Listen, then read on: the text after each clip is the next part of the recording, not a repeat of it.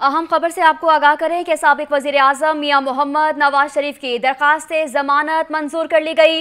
नवाज़ शरीफ ने तिब्बी बुनियादों पर supreme court में दरखास्त दायर की थी, जिसे सुप्रीम कोर्ट की जानब से मंजूर कर लिया गया। आपको अहम खबर से आगाह करते चलें कि सबक वजी अजम मियाँ मोहम्मद नवाज़ शरीफ की जानब से जो दरखास्त जमानत दी गई थी सुप्रीम कोर्ट में, उसे मंजूर कर लिया गया है। हम खबर से आपको आगाह करते चलें कि नवाज़ शरीफ ने तिब्बी बुनियादों पर सुप्रीम कोर्ट में एक दरखास्त दायर की थी और दरखास्त जमानत जो है मंजूर कर ली गई है।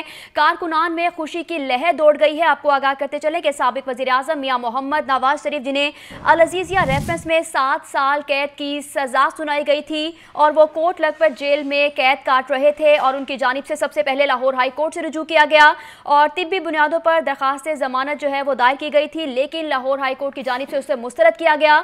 और फिर नवाज़ शरीफ ने सुप्रीम सुप्रीम कोर्ट का दरवाज़ा खटखटाया और आज उसकी अहम समात हुई। और अभी खबर यह है कि सबक वजी अजम मियाँ मोहम्मद नवाज़ शरीफ की दरख्वास्त से जमानत मंजूर कर ली गई है। आपको आगाह करते चलें कि लीगी कारकुनान जो है, उनमें खुशी की लहर दौड़ गई है। लीगी कारकुनान चूँकि आज फैसला आना था, वो पहले ही ऑफ़िस में इकट्ठे हो चुके थे और उनकी जानब से नारेबाजी की जा रही थी।